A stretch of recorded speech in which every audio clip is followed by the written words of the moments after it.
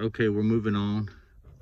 Um, I want to want you to pay attention to this metal strap that's on this pipe right here, and also right there on that flex pipe going to the heat and air.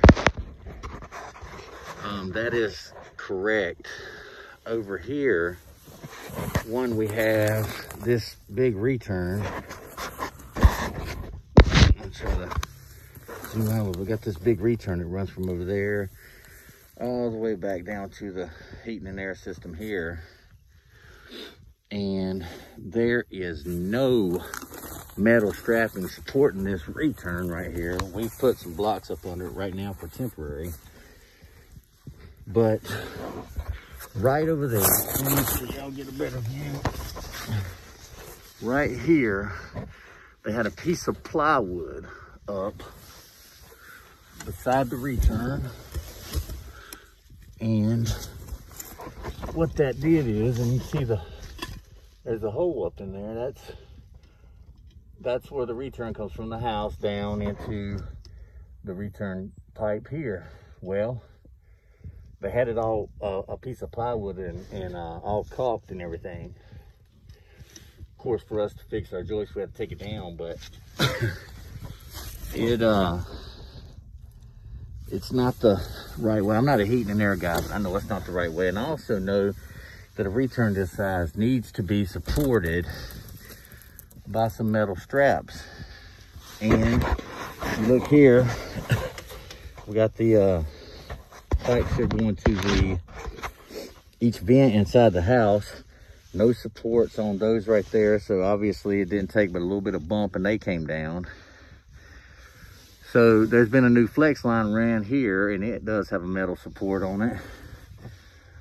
Long story short, I'm gonna go get some metal bracketry and I'm gonna support this return up.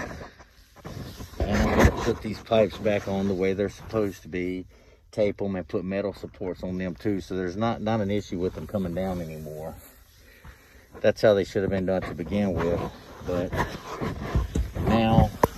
I'm under here working, it, it becomes my problem, or at least I think so. And I can't leave it like that once I've seen it. But to get back to the original job, uh, we've lifted the, there's the chimney. We've lifted this floor up, got the ledger attached back to the girder, got the joist attached back to the ledger all the way down. That's two rooms we've lifted up. and so now, pretty much we're ready to lift the girder. But before I lift the girder, I'm gonna go over the kitchen is straight over there in front of us. And I'm gonna go ahead, lift those joists a little bit because it's dropping in the corner.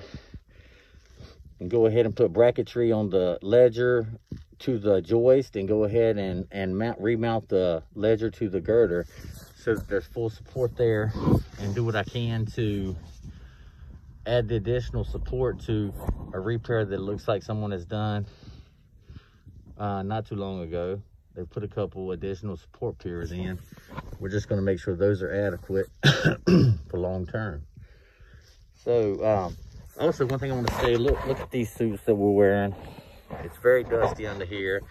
We have face mask on, headlamps, and you know, those are things you want to have on for safety reasons when you're working under here. Also safety glasses.